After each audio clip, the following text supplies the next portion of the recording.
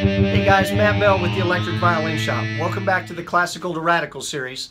We did get a question about a term that I used in a previous video, and it was the word snake. Most guys that set up stages, roadies and, and uh, road crew guys, they're really uh, OCD about how they keep their stage, right?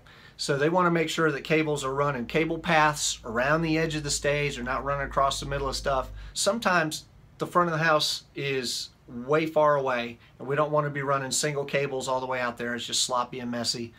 And in order to, to get that stuff to work right, we will put what we call a, a stage box or a snake on the stage. It's just a junction box where you can plug a bunch of different XLR cables into it and then it has one sort of bundled cable that comes out and it can run to the other side of the stage it can run to front of house or whatever you may not just plug straight into the board you may plug into a snake that runs to the board. And then one little convention thing too, if you're if you got a 30 foot cable and you're 10 feet away from the snake, you want to run your cable from the snake to your DI and leave all the slack coiled up next to your DI. We don't leave the slack next to the snake, we leave the slack next to the DI, next to the user, right?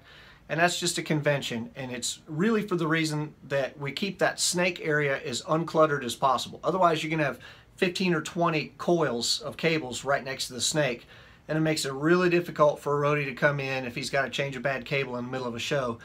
He can't get there. There's just piles of cables everywhere. It's just neater to leave the, the coil next to the user. So that's that's just a convention you need to know about.